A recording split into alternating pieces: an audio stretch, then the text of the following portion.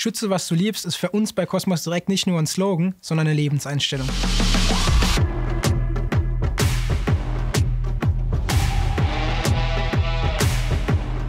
Schütze, was du liebst, das ist ein ganz, ganz äh, elementarer Bestandteil, ein menschliches Bedürfnis, äh, Schutz und Sicherheit zu haben, aber auch Schutz und Sicherheit den, den Liebsten zukommen zu lassen. Und das ist für mich ein ganz, ganz starkes Motto, das mich jeden Tag auch nochmal hier motiviert. Schütze, was du liebst, ist für mich absoluter Alltag. Ich als Mama habe immer damit zu tun, ähm, darauf aufzupassen, dass es meinem Kind gut geht, dass es vorankommt, dass es ihm an nichts mangelt. Und ich glaube, das ist etwas, was so gut wie allen Kunden das Aller, Allerwichtigste ist, wenn sie auf uns zukommen. Mit unserem Motto Schütze, was du liebst, verbinde ich ein Gefühl. Das Gefühl, das man haben sollte, nachdem man eine Versicherung abgeschlossen hat. Keiner will, dass ein Versicherungsfall eintritt.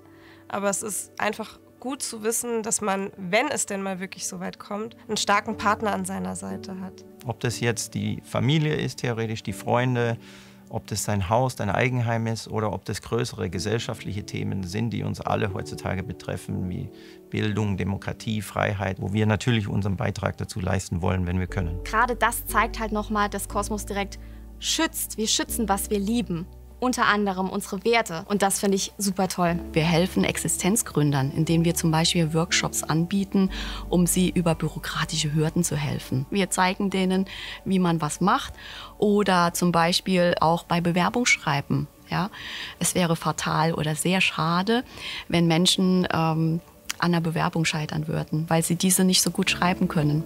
Und in denen stecken vielleicht unglaubliche Potenziale. Das wäre sehr schade drum. Eine Aktion, die mich sehr bewegt hat in diesem Jahr, war die Frauen- und Versicherungsthematik, weil gerade das Thema Frauen und, und Finanzen, Altersarmut, das ist so ein wichtiges Thema.